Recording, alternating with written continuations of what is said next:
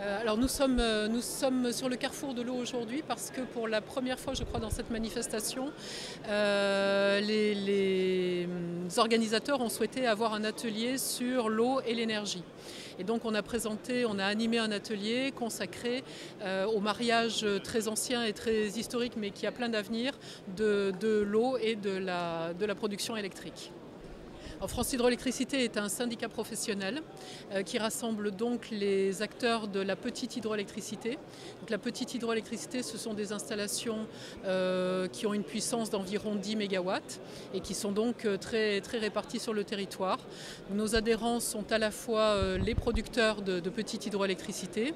et puis toute la, enfin, une grande partie de, des prestataires de services, donc toute la filière aval, depuis les personnes qui s'occupent de génie civil, les bureaux d'études, euh, les turbiniers bien sûr, tout ce qui est génie électrique, euh, automatisation, etc. Donc euh, toutes, les, toutes les parties prenantes à la construction et à l'exploitation d'une petite centrale hydroélectrique. On a été très heureux d'être invités dans ce carrefour de l'eau. C'est une grosse manifestation avec beaucoup de retentissement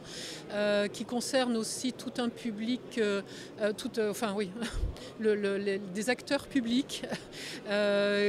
Euh, qui sont peut-être moins partie prenante aujourd'hui de la, création d'ouvrages hydroélectriques et qu'on était très heureux aujourd'hui de pouvoir sensibiliser à l'intérêt quand il, par exemple une, une commune ou un conseil général est propriétaire d'un seuil, ce qui, ce qui arrive dans un certain nombre de cas, euh, on, leur a proposé peut-être une nouvelle vision de ce seuil, c'est-à-dire bon, au lieu de penser que c'est peut-être quelque chose qui est euh, un petit peu coûteux, qui est un petit peu, enfin qui pose un certain nombre de problèmes aujourd'hui vis-à-vis de la réglementation sur la continuité écologique, ce seuil peut être une véritable opportunité de valoriser la ressource que ça, représente pour la commune par exemple. Euh, on peut équiper ces seuils en hydroélectricité et donc avoir un seuil qui est vivant, qui produit de l'électricité renouvelable, euh, qui, est donc une vraie valorisation des ressources de la commune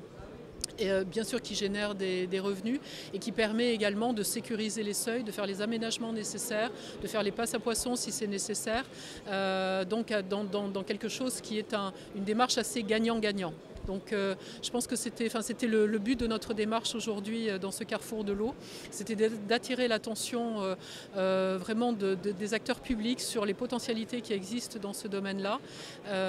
et d'avoir un regard un petit peu neuf sur un certain nombre d'ouvrages en rivière qui n'ont pas d'usage aujourd'hui mais qui peuvent en retrouver un facilement.